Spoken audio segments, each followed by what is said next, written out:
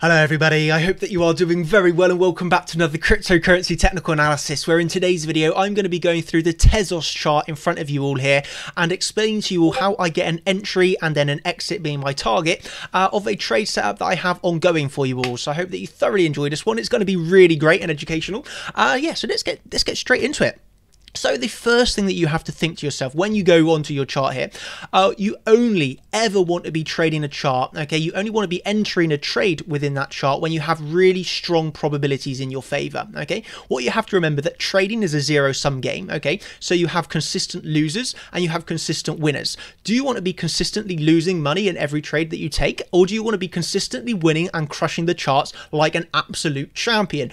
Obviously, you want to be crushing the charts and making money consistently. So, if you want that, what you have to be doing is looking for really strong confluence levels. Okay, so confluence is so key in trading. How do you get confluence? Lots of different technical analysis tools. Uh, and what also is a confluence somewhat, okay, patience, patience, patience, patience. It's so massively important in trading, which many people psychologically struggle with. Okay.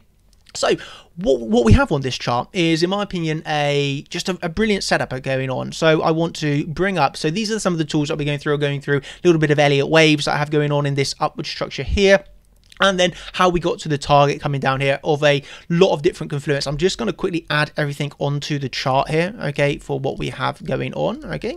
Uh, we don't need this part, this part, this part quite yet, so I will remove that slightly uh, getting ahead of myself. and uh, yeah, this is what we kind of need, and we don't really need that monthly so far. So when we were coming down in this section of the chart, I want to explain to you what I was personally looking for. Okay, so what we had going on was originally the move down, so from low to high, you can see how we come down here really nicely to this 618 level, and you got a 35% increase in price, so really strong bounce, nearly 40% actually increase in price from that 618 you come down, you touch it again for a double bottom, and then you come down you know equally amount uh, you know quite a few times going into you know the start of April which looks like a descending triangle, doesn't it? Somewhat being our high, lower high, lower high, lower high, lower high, lower high, and a flat floor. Okay, so in this scenario, what are you waiting for? Well, personally, I'm waiting for like swing failure patterns, and I'm going to play a quick clip for you all uh, over from the chat, this is the uh, contenders live stream. Okay, so the contenders live stream uh, on the 25th of March. I'm going to play you just a quick 15 second clip so you can hear in the time what I was kind of looking and waiting for.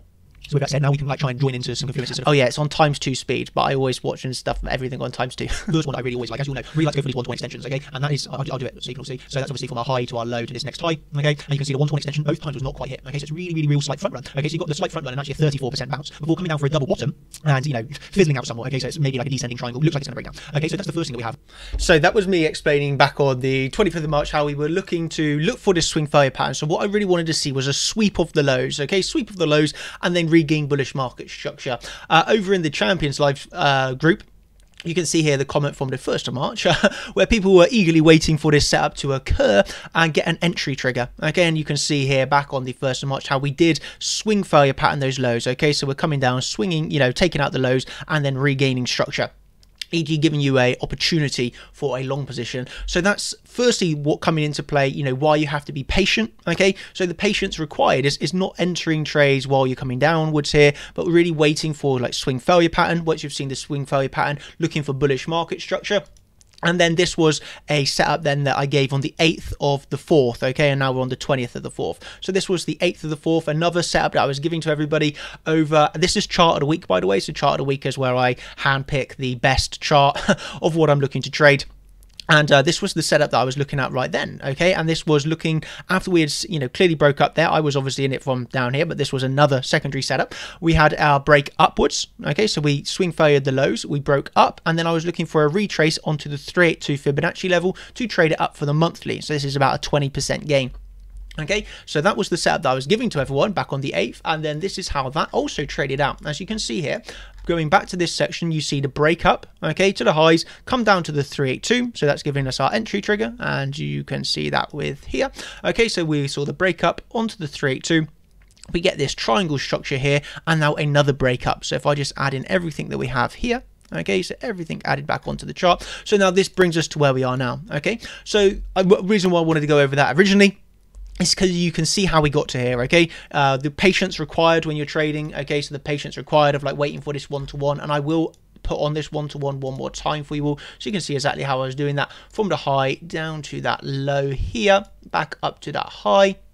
So one, two, three, you can see the one-to-one comes in here. You miss it, well, you front run it slightly on the 618, you then get another bounce off of it, descending triangle, break down, swing the lows, okay, come back in, bullish market structure, take the highs onto the 382. That's obviously your entry trigger here. In the end, you go, in my opinion, into a triangle. So if I just hide that risk reward, uh, so that's the cool to on, and then you go into this like A, B, C, D, E triangle, and you break up again from that triangle, okay?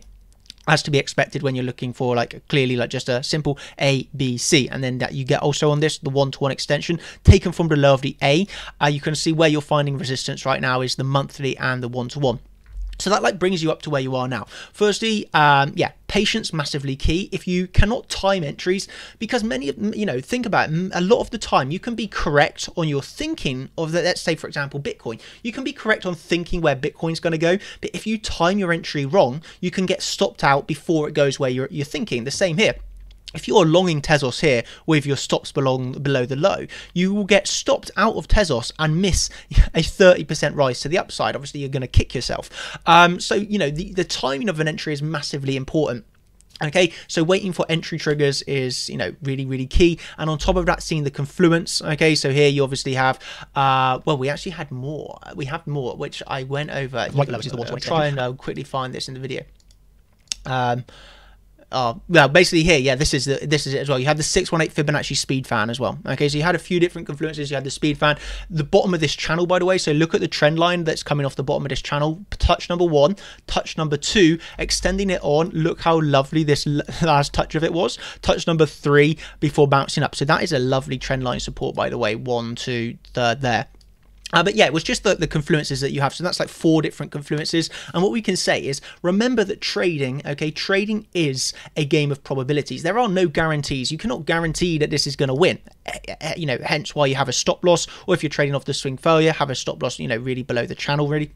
Okay, so both of these setups have invalidations because I acknowledge I can be wrong. There's there's no guarantee I'm going to win this trade, uh, and I like to place my stop loss, or I, I, like to get out of a trade because I use soft stop losses. I like to get out of a trade when my idea has been invalidated. Okay, and I will stay in that trade, um, either for a time-based stop sometimes, but nevertheless, I'm staying in a trade until I'm invalidated. Okay, I'm not going to be exiting early. I'm not going to be closing early. I'm going to be staying into targets, and I'm going to be uh, I'm, I'm, going to be out of a trade when I'm invalidated because I do acknowledge trading is a game of probabilities. There are no certainties. Um, but yeah, this was obviously a highly probable trade. When we have so much confluence coming together in this region, there, the probabilities are that you're going to go up from here rather than continue down. Even if it's just a bounce to continue back down, ultimately, when there's this much confluence, you do expect a bounce. Uh, another thing that's really important is that many people struggle psychologically with seeing a really nice setup and then just not taking the trade because they're so scared. And that is something that you're going to have to obviously work on. But nevertheless, execution is massive part of trading uh, psychologically. So uh, yeah, when you see the sort of setup, we obviously had this really nice one, and then this goes into, in my opinion, ABCDE triangle, break up from this triangle again. So, well, what I'm looking at here is more of a zigzag pattern, okay, zigzag pattern. Uh, could be a WXY, because you can see here, this is like three, that's clearly like a three structure okay and then we're getting another three here so we could yes absolutely end here in a wxy uh, so this is something that I'm I am aware of Okay, so I think you've got a few then really important support and resistance if you're looking to trade Tezos for me, yeah, absolutely, this monthly level is massive. okay, it really, really is massive. Uh, so if you can claim the monthly. I suppose you what you can look at is a little bit on like a smaller term time frame. If if you're looking at this as the breakup and maybe this is some sort of wave four before we push up for a fifth. Uh, but nevertheless, if we do push up for a fifth here and then start, we've already got bearish divergences by the way. So I'll show you this. You've already got bearish divergences forming. So if you come up for the fifth if you do push up again for a fifth and you push up again on bearish divergences, it's really likely that this is going to fall down. Okay, you can see bearish divergences occurring there, and you can also see bearish divergences even bigger here. So you see these massive bearish divergences. So you've seen it across several, several indicators. So it's really likely that it's going to top out soon, but there might be one more push up before that happens. But um, nevertheless, the monthly level for me is more key because I trade more for market structure than indicators. So the monthly level, if you can claim the market structure, if you can claim the monthly on really nice volume, And then I suppose, yeah, you are going to be looking up to the middle of the channel slash all time highs again. Well, this is obviously on the Binance chart, but all time highs once again on this chart if we can claim this level with an increase in volume. Okay, so that's massively important. And yeah, I would expect all time highs again. But if we do push up again, bearish divergences, decreases in volume, okay, or we just fall down from here because you know the odds of playing this last last leg up are pretty low, let's be honest. So if we do fall down from here, then you still have the weekly Okay, you still do have this massively important weekly. Okay, so pull back down to there or back up to the middle of the channel again, which will come into this structure, offers good opportunities for a long. Again, I must stress this is not financial advice. I'm not a financial advisor. Do your own research, do your own trades, uh, educational purposes only, and all that good stuff.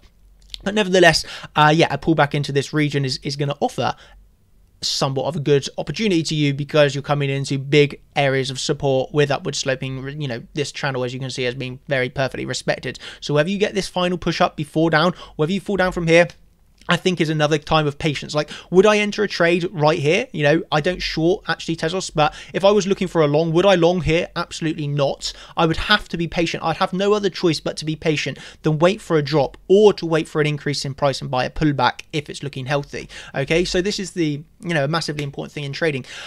I, I, you know, if you spend a day at the computer, eighty, that's not a good example. Let's just say eighty percent of the time when you when you're trying, you, you should be in no positions. You should be patiently waiting on the sideline, and only twenty percent of your time in a trade sort of thing. Like most of the time, you have to be patient and you are waiting for these high probability setups to come to you. Okay, so never chase a trade, but rather wait for that trade to come to you. Okay, maybe then you find yourself taking 50% less trades, but you're going to see your win rate increasing it should increase 50%, but obviously that's got to be personal depending how good you are at trading. But nevertheless, patient, one would envision that patience equals a higher win rate because you're taking more you're taking a better quality of trade okay? As long as your technical analysis is good anyway.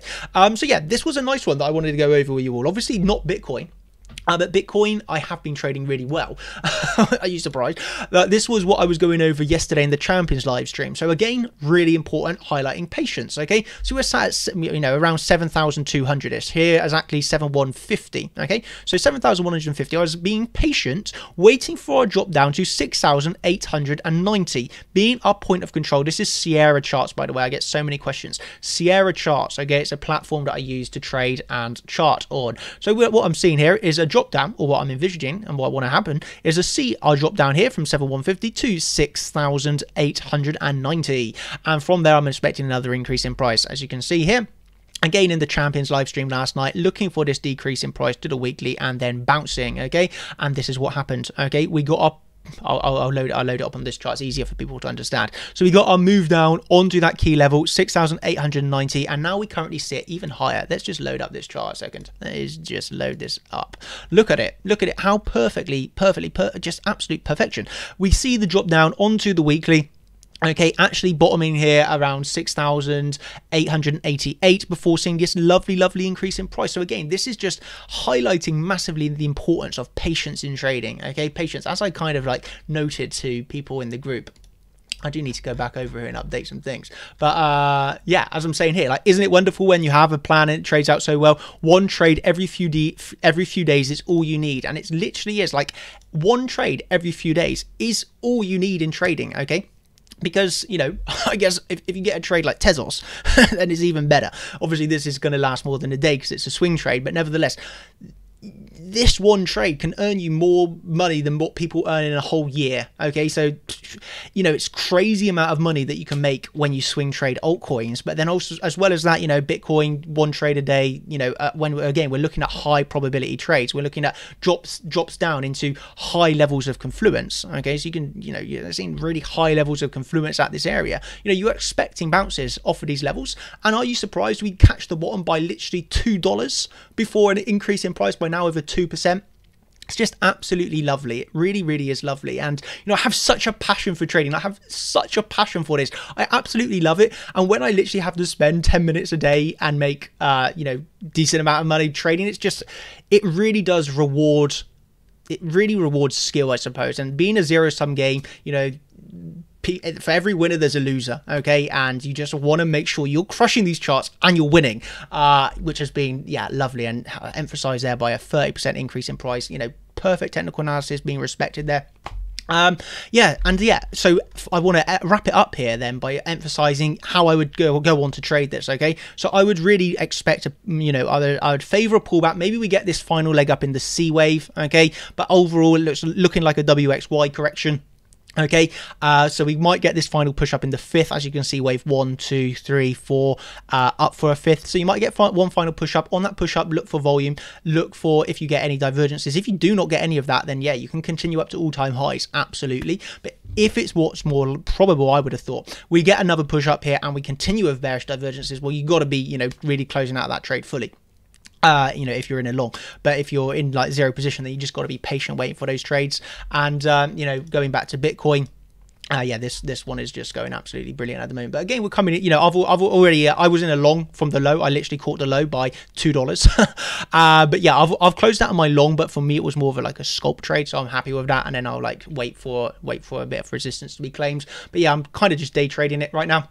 Um, yeah, so I guess I'll end up with a little bit of a statement that if you're interested in like learning sort of these things, if you're interested in getting free free setups like this, uh, that was amazing. But you know, if you're more, you know, the emphasis I want to stress is is focused on education and, and teaching you rather than just feeding off of myself. I want to teach you to do this for yourself. So if you're interested in, you know, these are some members charts, you know, they're following, you know, they've took on what I've teached and then, you know, learning you know you want to see these sort of charts you know this sort of education then uh, you know come over to chartchampions.com click on you know yes show me how and you can sign up and uh, join the team today and start start making some money with us because it's been yeah i must admit it's been pretty pretty decent uh, ultimately uh, lately so yeah uh, this is again Sierra charts because I know I'm going to get a lot of questions as emphasized today. Uh, but yeah, uh, thank you, everybody. I hope that you've enjoyed this type of video. You'll have to let me know. Um, I, am fully aware already that instantly my videos just gets disliked, so I've kind of don't care about the dislikes. So leave a comment down below if you enjoy this video, and I'll happily bring you some more. Uh, or if not, then I'll, I just won't make any um, another video. So up to you. Uh, thank you, everybody. I hope that you have a brilliant day. I will end this with this, by the way. Yeah, so I will end with this because I did put it on Twitter. So um, yeah, obviously with coronavirus, it's kind of you know a rubbishy kind of situation right now for everybody. So um, yeah, my heart goes out to everybody that's you know like a key worker putting their lives on the line essentially for for everybody. And it's I, I my my heart goes out to all of you. You are you guys are fully amazing, and this goes from the people that you know that collect the rubbish in the day to uh, you know the the nurses that are literally helping people every day. But like everybody that's going out to work right now, I you have my full admiration, you have my full respect, and I must just say thank you uh, from myself and and I'm sure on everybody else in the whole world. Like we all just say thank you, and um, you know, I'm, I'm just a trader. At the end of the day, I'm, I'm, nothing special. But you guys that are out there doing stuff every day, you know, I, I wouldn't be able to do it. So, yeah, thank you from the bottom of my heart. And uh, on that, I just hope everybody is really well take care of yourselves. Um, use this time to to trade because you can be in your house uh, which is what everyone should be doing really right now is just staying inside and you know trying to keep everybody safe and well. So uh, yeah i'll end with that. Thank you everybody so much from the bottom of my heart. Always family number one. And yeah cheers. Thank you and goodbye. Bye